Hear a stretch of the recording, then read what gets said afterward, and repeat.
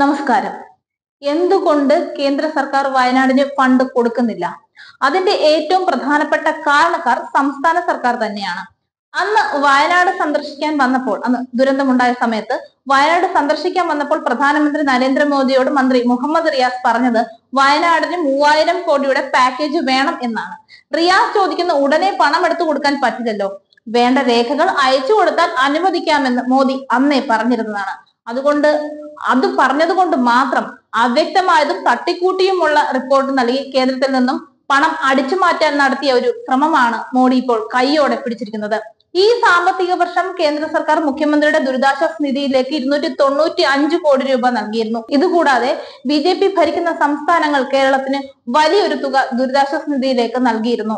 അതിനൊക്കെ പുറമെ കേരളത്തിലെ ജനങ്ങൾ തന്നെ മുഖ്യമന്ത്രിയുടെ ദുരിതാശ്വാസ നിധിയിലേക്ക് പണം നൽകിയിട്ട് അതിൽ ഒരു രൂപ പോലും ഇന്ന് വരെ കേരള സർക്കാർ ചിലവാക്കിയിട്ടില്ല.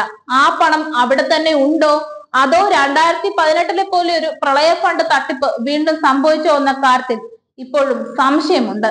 നേരത്തെ ദുരിതാശ്വാസ ഭൂമിയിൽ സഹായത്തിലെത്തിയ ഉദ്യോഗസ്ഥർ തിന്നു മതിച്ച് കളഞ്ഞ രണ്ട് ലക്ഷം രൂപയുടെ കണക്കുകൾ ഞങ്ങൾ ഉൾപ്പെടെയുള്ള മാധ്യമങ്ങൾ പുറത്തുവിട്ടിരുന്നു. സർക്കാരിന്റെ സംവിധാനങ്ങൾ ഉപയോഗിക്കാതെ ധൂർത്തിനുള്ള വഴിയായി ദുരന്തത്തെ കണ്ട ഉദ്യോഗസ്ഥർക്കെതിരെ ഒരു ചെറുവിരൽ പോലും അനക്കാൻ സർക്കാർ ഭയക്കുന്നതിനുള്ള യഥാർത്ഥ കാരണം ഇപ്പോഴാണ് ജനങ്ങൾക്ക് മുമ്പിൽ വെളിപ്പെട്ടത്. കേരള മുഖ്യമന്ത്രിയെ വിശ്വസിച്ച് നമ്മൾ നൽകിയ പൈസയിൽ ഒരു രൂപ പോലും പിണറായി സർക്കാർ വയനാടിന് വേണ്ടി ചിലവഴിച്ചില്ല എന്ന ഞെട്ടിക്കുന്ന വാർത്ത ഇപ്പോൾ ചർച്ചയായിരിക്കുന്നു. അറുന്നൂറ്റി അൻപത്തി എട്ട് പോയിന്റ് നാല് രണ്ട് കോടിയിൽ ഒരു രൂപ പോലും ചെലവഴിച്ചിട്ടില്ലെന്നുള്ള കാര്യം ഔദ്യോഗിക വെബ്സൈറ്റിൽ തന്നെ കാണാം. ജൂലൈ മുപ്പതാം തീയതി മുതലാണ് വയനാട് ദുരന്തത്തിനായി മുഖ്യമന്ത്രി ദുരിതാശ്വാസ നിധിയിലേക്ക് സംഭാവനകൾ സ്വീകരിച്ചു തുടങ്ങിയത്. നാല് മാസത്തിനകം അറുന്നൂറ്റി അൻപത്തി എട്ട് പോയിന്റ് നാല് രണ്ട് കോടി രൂപ സമാഹരിക്കുകയും ചെയ്തിരുന്നു. എന്നാൽ ലഭിച്ച തുകയിൽ നിന്ന് ഒരു രൂപ പോലും പ്രവർത്തനങ്ങൾക്കായി ഇതുവരെയും മാറ്റിവെച്ചിട്ടില്ല എന്നതാണ് കണക്കുകൾ സൂചിപ്പിക്കുന്നത്. ഇലക്ട്രോണിക് പേയ്മെന്റ് വഴി വിവിധ ബാങ്കുകളിലേക്ക് ലഭിച്ച തുകയുടെ കണക്കുകൾ പുറത്തുവിട്ടിട്ടുണ്ടെങ്കിലും U P I I D വഴി എത്ര പണം കിട്ടിയെന്നുള്ള കാര്യത്തിൽ സൈറ്റിൽ വ്യക്തതയില്ല. രണ്ടായിരത്തി പതിനെട്ട് പത്തൊമ്പത് പ്രളയത്തിനും കോവിഡിന് ലഭിച്ച തുകയുടെ സ്രോതസ്സുകൾ പട്ടിക തിരിച്ച് കണക്ക് ലഭ്യമാക്കിയപ്പോൾ വയനാടിന് വേണ്ടി പൊതുജനങ്ങളിൽ നിന്ന് സമാഹരിച്ച തുക എന്ന പട്ടിക മാത്രം ഉൾപ്പെടുത്തിയാണ് അറുന്നൂറ്റി അൻപത്തി എട്ട് പോയിന്റ് നാല് രണ്ട് കോടിയുടെ കണക്ക് കാണിച്ചിരിക്കുന്നത്.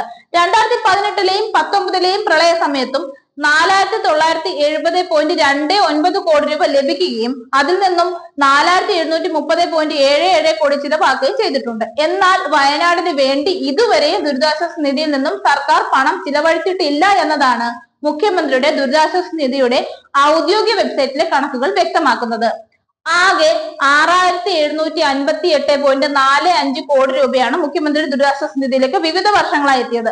അവയിൽ കോവിഡ് കാലത്ത് ചെലവഴിച്ച ആയിരത്തി ഒരുന്നൂറ്റി പതിനൊന്ന് പോയിന്റ് ഒന്ന് അഞ്ച് കോടി രൂപയും പ്രളയത്തിനായി ചെലവഴിച്ച നാലായിരത്തി എഴുന്നൂറ്റി മുപ്പത്തി എട്ട് പോയിന്റ് ഏഴ് ഏഴ് കോടി രൂപയും ചേർത്ത് അയ്യായിരത്തി എണ്ണൂറ്റി നാൽപ്പത്തി ഒമ്പത് പോയിന്റ് ഒൻപത് രണ്ട് കോടി രൂപ ചെലവഴിച്ചിട്ടുണ്ട്.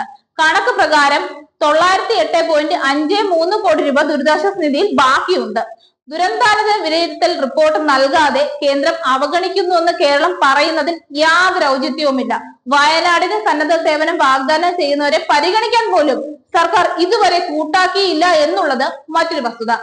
കേന്ദ്രത്തിനെതിരെ കേസിന് പോയി വീണ്ടും കോടികൾ പാഴാക്കുകയാണ് സർക്കാർ. ദുരന്തബാധിതരായ മനുഷ്യരെ രാഷ്ട്രീയ ലക്ഷ്യത്തിന് ഉപയോഗിക്കുന്ന സി പി എം കോൺഗ്രസ് ഗൂഢാലോചന ജനങ്ങൾ മനസ്സിലാക്കണമെന്ന് മുൻ മന്ത്രിയും ബി ജെ പി നേതാവുമായ വി മുരളീധരൻ പറഞ്ഞിരുന്നു. സഹായം ലഭിച്ചെന്ന് പറയുന്ന സംസ്ഥാനങ്ങൾക്ക് അവർ സമർപ്പിച്ച വിവരങ്ങൾ കണക്കിലെടുത്താണ് തുക ലഭിക്കുന്നത്.